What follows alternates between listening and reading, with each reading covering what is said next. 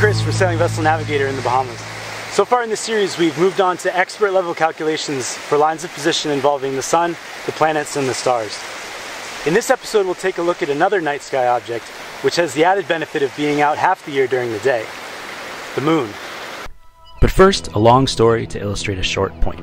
Eratosthenes was a Greek mathematician. He lived in the town of Alexandria, and on the summer solstice, he knew that a tower cast a shadow. He measured it at 82 degrees and 30 minutes. Knowing what he knew, he knew that the zenith distance would therefore be 7 degrees and 30 minutes. He also knew that a different point, we'll call it point B, far away, the light on the summer solstice shone down and illuminated the bottom of a well. He'd made the trip and he knew it was 450 stadia, we'll call it miles in this case. He also knew that 7 degrees and 30 minutes represented 148th of the circumference of the Earth. Therefore, he multiplied 450 by 48 and came up with a figure of 21,600 miles, which is pretty accurate. The only reason he could do this calculation was because he knew that rays of light from the sun struck the Earth like they were parallel. However, the light from the moon is not parallel. Because the moon is so close and it's so small, the light from the moon is not parallel. There's parallax error that we need to account for. It's called HP, horizontal parallax. So I'm sure you're saying, cool story, bro, but horizontal parallax isn't the only thing that makes the moon difficult. Declination and GHA are always changing for every body.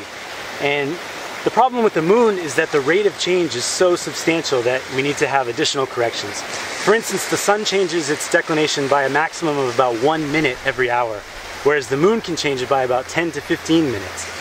So that rate of change in declination applies as well to, to GHA, and we need to account for that. But never fear, the benefits of using the moon far outweigh the drawbacks. For instance, it's, it's available during the day a lot of the time, and it's unmistakable at night.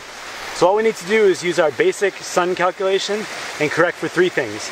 Declination change, GHA change, and horizontal parallax. Let's take a look at an example problem.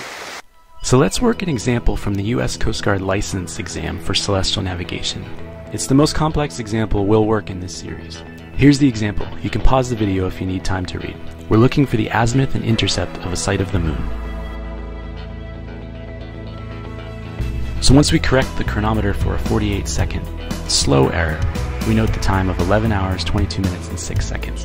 However, we shot this at 0622 zone time, and given our longitude, that means it's 2322 GMT. Trick here is that chronometers work on a 12 hour cycle, not 24. So the actual time is 232206 on 24 February, not 25. Coast Guard's always trying to trick you.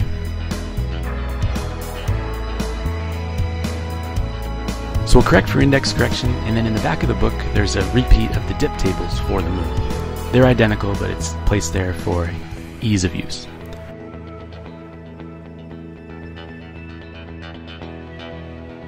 Once we have an apparent altitude, we need to get into our apparent altitude correction, which is a little bit more complex, so we'll set up a whole column for this. We'll pull the horizontal parallax from the daily tables for the moon. This is not a correction, it's just an entering argument for a different table. In the back of the book, there's altitude correction tables. There's one correction for the top,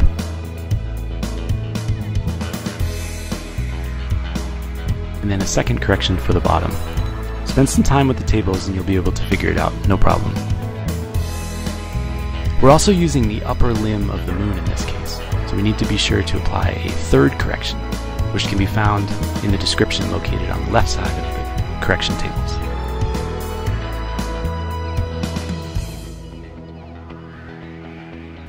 Once we have our main correction for the moon, we've determined our observed altitude of 60 degrees 00 decimal 4 minutes. We'll pull the declination figure from the daily pages of the Nautical Almanac, also noting the D correction factor. Then we'll head back to the increments and corrections tables in the back of the book for the appropriate time to correct our declination figure.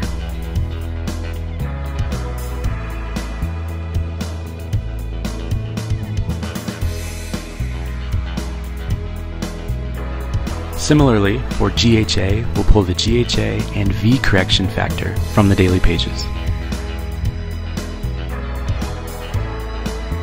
Then we'll account for the minutes and seconds for the sight as well as the V correction.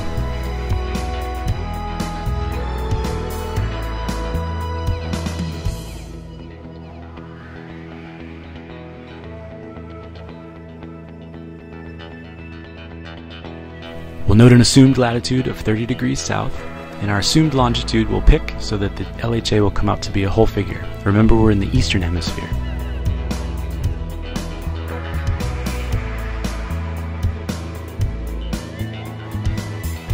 Once we've got the latitude, the declination, and the LHA, we can either head into the tables or do the direct calculations.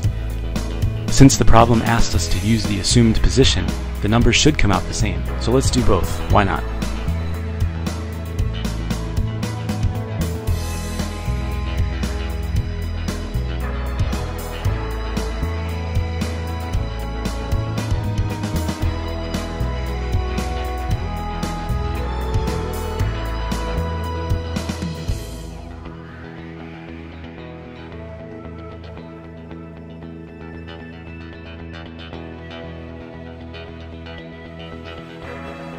Both solutions yield a computed height of 59 degrees, 56 decimal 2,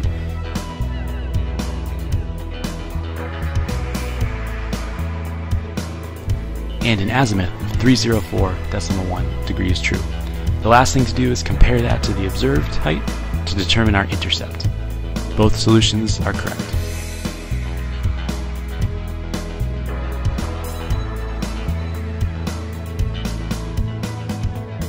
So that's all there is to it.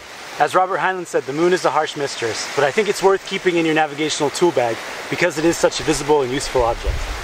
Let's take a look now at a combination of a moon sight, a planet sight, and a star sight. We'll combine what we learned in the past two episodes to enable us to get a three-body fix, which is one of the most accurate things you can do with celestial navigation. The way I like to solve multiple body fix problems is to do all the calculations at the same time. So I'll lay them out in a column and then proceed down the column, applying each correction to each body so that I don't get confused. You'll also notice that the times of each sight are different. However, I was on a sailboat going one knot, so it's not going to make a big difference in our case. So the first thing I'll do is I'll apply a combined dip and index correction to each sight to obtain the apparent altitude. Then for the moon sight, there's a few corrections that I need to make involving horizontal parallax.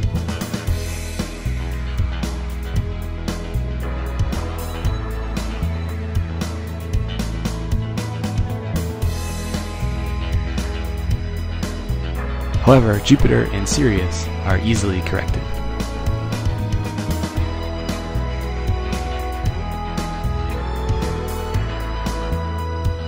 The next step is I'll pull out the declination figures for each body, correcting as required.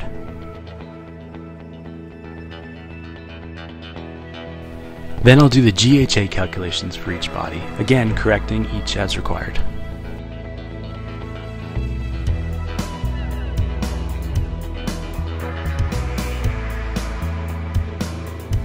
For the Sirius correction, I'll add the sidereal hour angle to the GHA of Aries to come up with the total GHA for the star.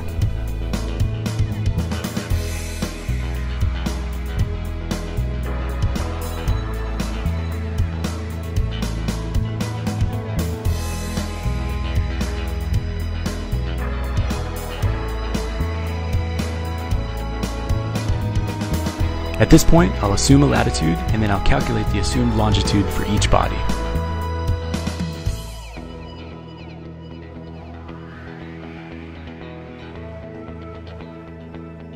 Then I'll head into the sight reduction tables to pull out the figures for each one.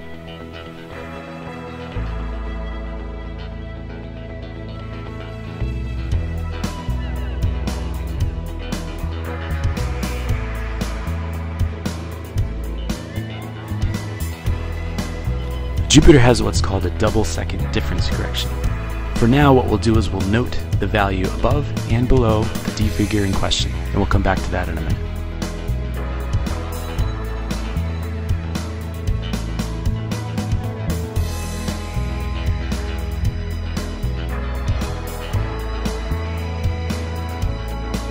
Now I'll just apply the D corrections to each sight and correct the azimuth as required.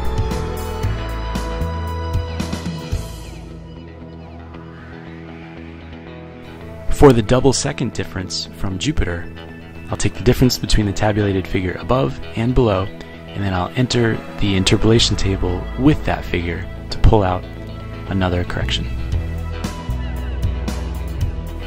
So I'll need to apply both the regular d correction and the double second difference correction to Jupiter.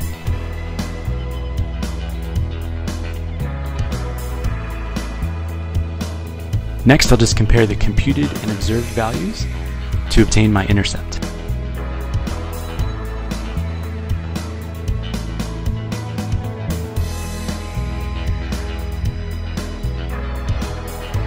Then I'll head to the plotting sheet, lay in each LOP, and watch the magic happen.